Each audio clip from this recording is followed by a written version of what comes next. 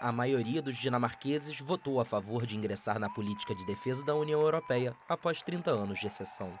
Com 97% dos votos contados, as urnas apontavam uma aprovação de quase 67% dos participantes do referendo. A primeira-ministra Mette Frederiksen comemorou o resultado. I aften har Danmark sendt et meget, meget vigtigt signal.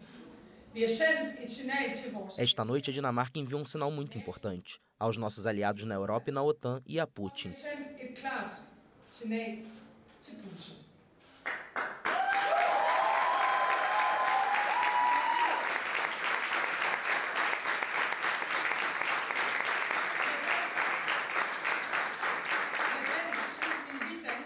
Estamos mostrando que quando Putin invade um país livre e ameaça a estabilidade na Europa, nós outros nos unimos.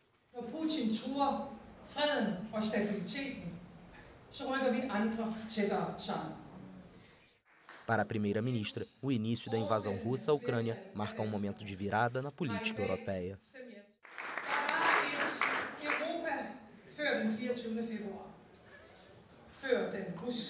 Havia uma Europa antes de 24 de fevereiro, antes da invasão russa, e a outra Europa depois. Quando as ameaças às liberdades estão às portas da Europa e há novamente uma guerra em nosso continente, então você não pode ser neutro. Portanto, as pessoas livres e o mundo inteiro se levantaram em protesto. Vi står op for frihed og for demokrati. Vi støtter Ukraine og det ukrainske folk.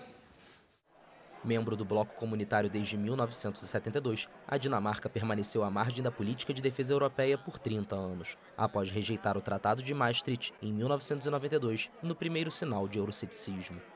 Em outro referendo no ano 2000, os dinamarqueses também optaram por ficar de fora da zona do euro. Em 2015, em nova votação, o país optou por não participar da política europeia de assuntos internos e justiça.